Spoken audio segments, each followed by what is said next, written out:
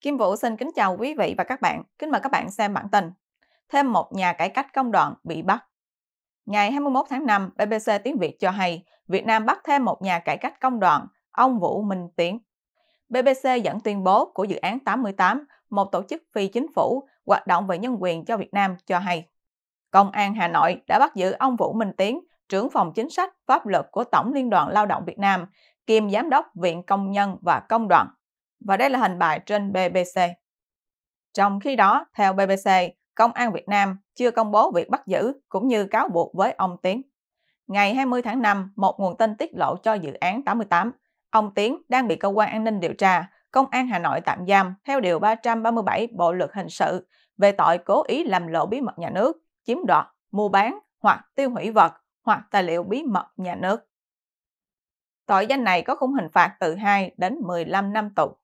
BBC cho biết vụ mất tích của ông Tiến khá giống với trường hợp của ông Nguyễn Văn Bình, vụ trưởng vụ pháp chế của Bộ Lao động.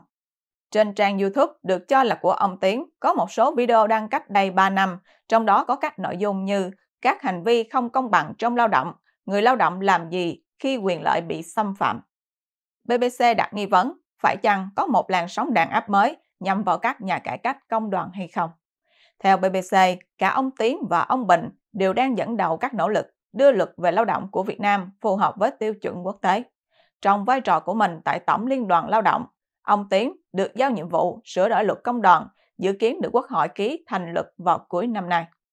Và đây là hình ông Vũ Minh Tiến, trưởng phòng chính sách pháp luật của Tổng Liên đoàn Lao động Việt Nam, kiêm giám đốc Viện Công nhân và Công đoàn. Trong khi đó, trước thời điểm bị bắt, ông Bình đang dẫn đầu nỗ lực đưa Công ước 87 của Tổ chức Lao động Quốc tế viết tắt ILO trình Quốc hội.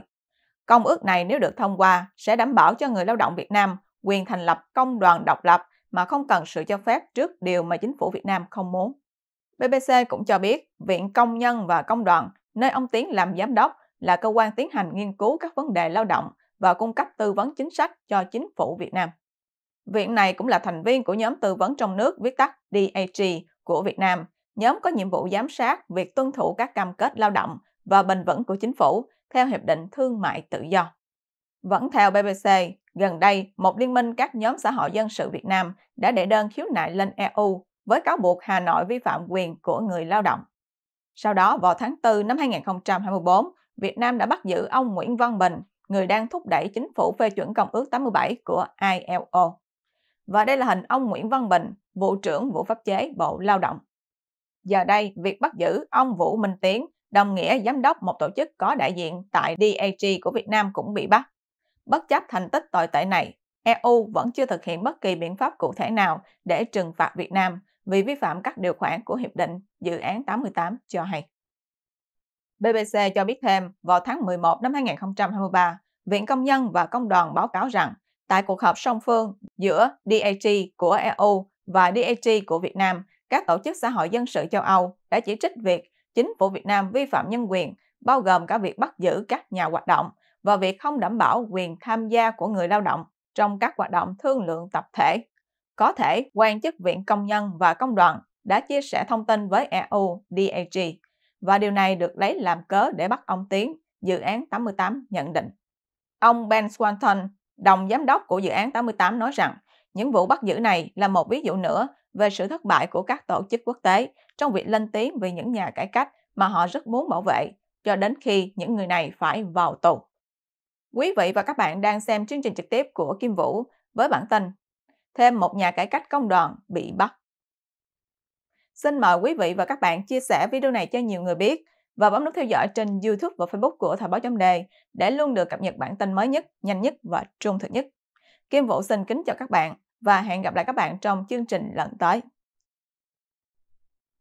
Kim Vũ xin kính chào quý vị và các bạn. Kính mời các bạn xem bản tin. Chính phủ Việt Nam thừa nhận áp lực kinh tế ngày càng lớn. Ngày 20 tháng 5, VOA Tiếng Việt loan tin Phó Thủ tướng Việt Nam, kinh tế đang đối mặt áp lực ngày càng lớn. VOA dẫn nguồn tin từ một hãng tin quốc tế cho hay, Phó Thủ tướng Việt Nam Lê Minh Khái ngày 20 tháng 5 thừa nhận nền kinh tế Việt Nam đang đối mặt với áp lực ngày càng tăng và cho biết chính phủ sẽ duy trì các chính sách hỗ trợ tăng trưởng. VOA dẫn lời ông Khái, theo đó lạm phát tại Việt Nam đang gia tăng, trong khi tăng trưởng tín dụng vẫn còn yếu. Ông cho rằng có nhiều nguyên nhân gây ra tình trạng này, trong đó bao gồm tình hình kinh tế, chính trị thế giới biến động nhanh, phức tạp, khó lường, nhiều diễn biến chưa có tiền lệ, vượt dự báo, gây sức ép lớn lên công tác chỉ đạo điều hành. Ông Khái cho biết, tăng trưởng GDP quý 1 năm 2024 của Việt Nam đạt 5,66%, trong khi Việt Nam đạt mục tiêu tăng trưởng kinh tế ở mức 6% đến 6,5% trong năm nay, cao hơn mức tăng trưởng 5,05% vào năm ngoái. Đây là một thách thức lớn để đạt được các mục tiêu kinh tế xã hội năm nay, ông Khải nói. Và đây là hình bản tin trên VOA. Theo BBC, Việt Nam, một trung tâm sản xuất được hưởng lợi từ việc dịch chuyển chuỗi cung ứng giữa bối cảnh căng thẳng Mỹ và Trung, đang phải gánh chịu gánh nặng lãi suất tăng cao trên toàn cầu, làm giảm nhu cầu về hàng hóa. Mặc dù tốc độ tăng trưởng của kinh tế Việt Nam thuộc hàng nhanh nhất ở châu Á, nhưng vẫn thấp hơn mức 7% trước đại dịch. BBC cho biết, sản xuất công nghiệp phục hồi chậm, sản xuất nông nghiệp, nhất là tại vùng đồng bằng sông Cửu Lâm gặp nhiều khó khăn do hạn hán, xâm nhập mặn kéo dài và nặng nề hơn. Thị trường bất động sản phục hồi chậm, tiến độ triển khai gói cho vay nhà ở xã hội 120.000 tỷ đồng chưa đạt yêu cầu. Tiến độ một số dự án cao tốc, giao thông trọng điểm, giải phóng mặt bằng còn chậm, ông Lê Minh Khái nói tiếp. Trước tình trạng khó khăn trên, chính phủ Việt Nam sẽ ưu tiên hỗ trợ tăng trưởng kinh tế giữa bối cảnh còn nhiều thách thức do nhu cầu toàn cầu suy yếu, một hãng tin quốc tế dẫn lời ông Khái cho biết thêm.